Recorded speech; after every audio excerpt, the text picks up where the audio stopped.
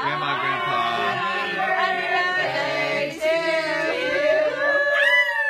This birthday cake was to celebrate more than just being another year older. Don't spit on the damn cake.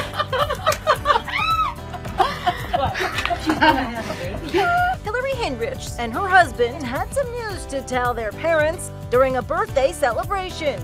So they did it with humor. Written on the Dairy Queen dessert, it said, Happy birthday, you stupid looking grandma.